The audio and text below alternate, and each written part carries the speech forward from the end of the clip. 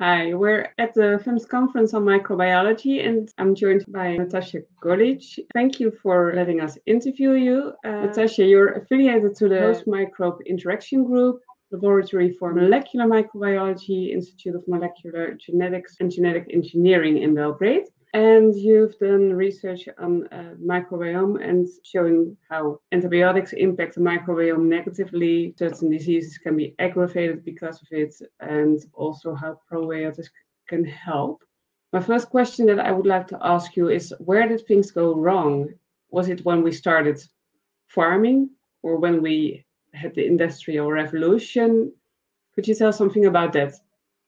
Yes, uh, actually, uh, what is known today uh, that uh, uh, we have some uh, different way of living, and we eat more ready-to-use food.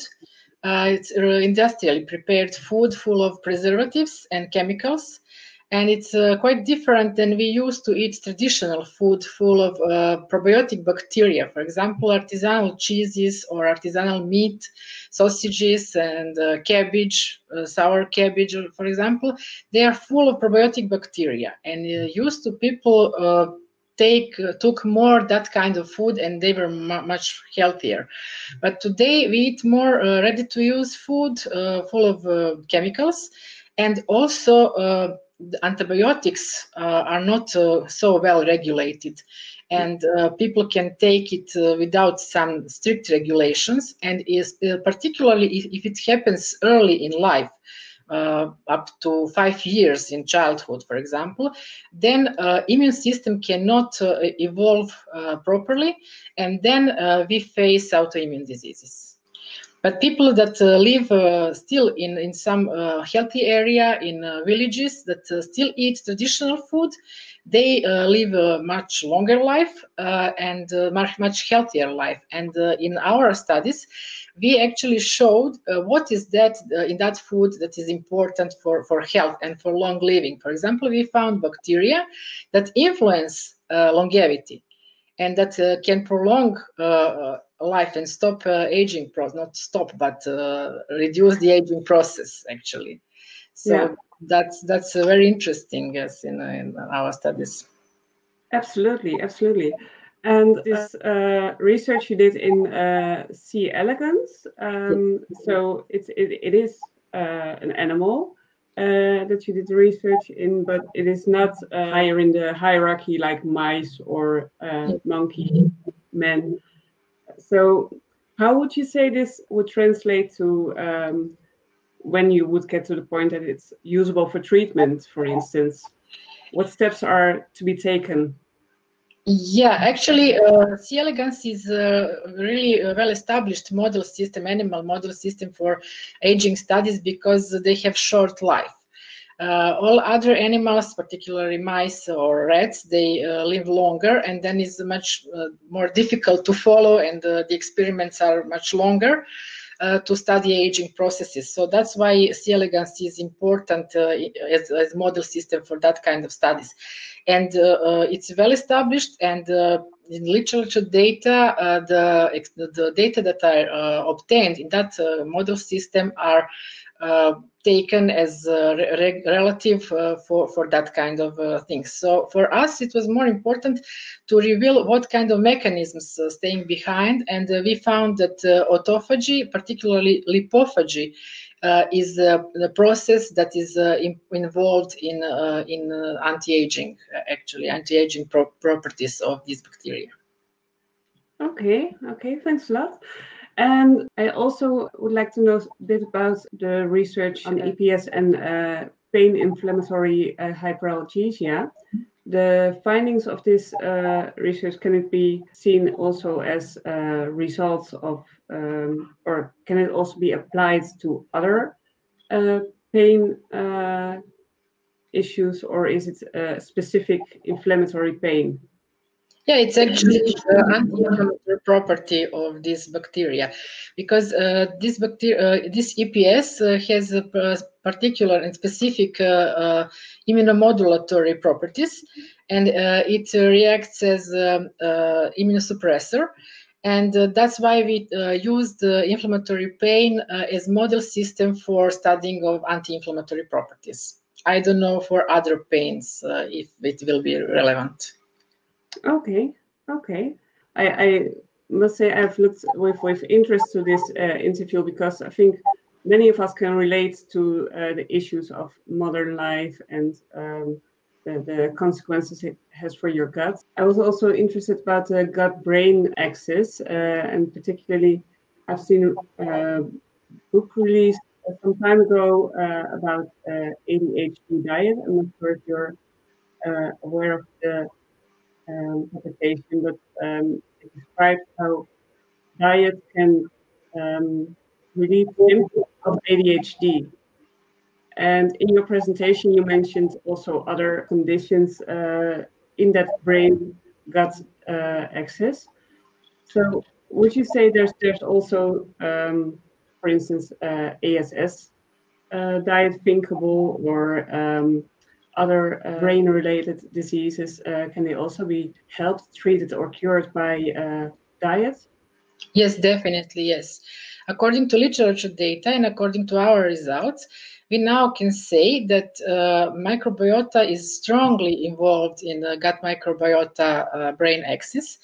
Uh, particularly, it's shown that some gut bacteria, uh, it's uh, so-called next generation bacteria, and uh, those anaerobic bacteria living in our gut now are studying more to be cultivated and more studied. they are still not well known. Some of them are studied and characterized, but most of them still are not.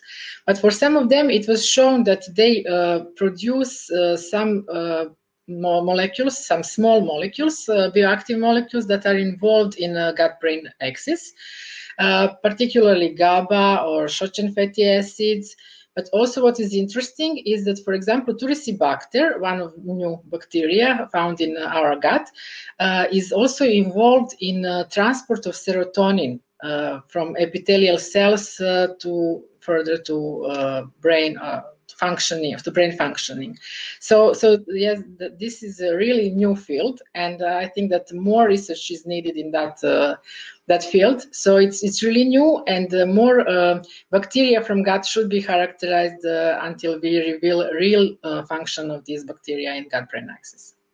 But it's uh, our future work uh, aimed to, to yeah. Establish this. I've also um, received a um, question from uh, Bauke Oudega. Mm-hmm. Um, because he um, was interested, based on your um, uh, presentation, uh, what's the molecular mechanism of the relation between autoimmune diseases and gut mi- microbiome? Could you tell us something more about that? Yeah, this is really simple actually. Uh, what I said uh, uh, from in the beginning that uh, um, colonization of our gut by gut bacteria starting early at, in our life after the birth and uh, if it if that, pro- that process doesn't uh, occur properly then immune system uh, doesn't uh, be, uh, cannot be formed properly. And uh, then that that's why we have that much autoimmune diseases because immune, immune system doesn't work properly because of hygiene hypothesis. And we live now in a more let's say clear and sterile environment Uh, and also uh, uh, we used a lot of uh, antibiotics and chemicals early in uh, childhood. So gut microbiota cannot be established properly uh, in, uh, in, early in life and that's why immune system uh, doesn't work properly later and for example in multiple sclerosis experiment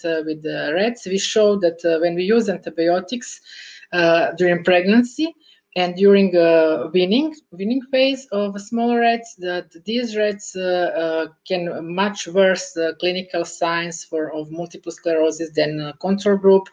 Uh, pointing that really um, uh, gut microbiota is involved in uh, development of immune system. And uh, if it, it's uh, in dysbiosis from the first stages of our life then we have more autoimmune diseases. So hmm. that's very simple actually yeah. yeah, we have to learn more mechanisms staying behind, but uh, gut microbiota is definitely very important. I have one question to conclude. Um, because um, you started um, with uh, artisan foods, and um, of course, um, food is no longer um, produced in the old-fashioned way. Do you also see the risk of um, losing basically the recipes for uh, success? So, are there also artisan foods disappearing that you actually would like to research here? Yes, actually, uh, the the huge problem is that artisanal food is disappearing because we lose the diversity of these bacteria present in uh, artisanal food. And uh, the aim of our laboratory uh, for uh, let's say 20 years. Uh, since, since 20 years is we collected more than 4,000 lactic acid bacteria from artisanal cheeses from Serbia and other Western Balkan countries. Uh, and we found that these bacteria have really special uh, probiotic and technological properties. So we really need to keep artisanal products to keep the diversity of bacteria mm. that are so important yeah, for our health. And and um, is is there um, a countermeasure uh, that you say, okay, this is how we start doing that? Uh, is it something that you also look to the public uh, to to um, help you in that, or or how would you do that? Uh, actually, we, we, try we try to make uh, a starter culture for dairy food uh, that uh, can imitate those uh, artisanal starters, and we also aim to make probiotic mixed cultures to to to treat some autoimmune diseases. So that's the okay. aim of our group. Okay, thanks a lot. A special question we always have um, in the interviews is. Um, what's your favorite microbe and could you tell us a bit about that microbe? Oh, okay. Uh, our favorite uh, microbe at this moment is Turicibacter because we found that is very interesting in the gut-brain axis, and particularly we found it uh, related to multiple sclerosis. So I think that our work will be more continued on that uh, okay. bacteria. Well, uh, I hope so too. And um, I want to thank you for this interview. Is there anything that you would like to add? No, it's mostly Good. that, that is said already. Thank you.